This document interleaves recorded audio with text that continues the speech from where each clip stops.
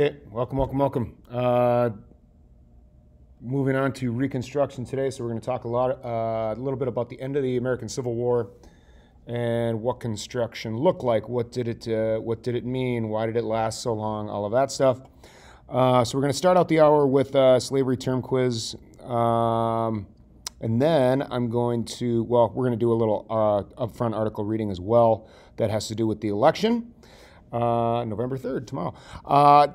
Then we're going to intro the new terms for Reconstruction. So you've got a term quiz coming up next week uh, regarding that. We're going to do a little reading dealing with Reconstruction, and then we're also going to do a little crash course. Both of those are assignments that are going into the grade book the following week. Going into the grade book this week is that slavery term quiz and that 1920s and 1920s Flipgrid. So make sure that you do that. I just wanted to show you a little, uh, or where you should find those things that we're working on. So under the vocab folder, okay, here's the slavery uh, vocab quiz you're going to take right away today. This is the Quizlet link for the reconstruction terms for the quiz next week.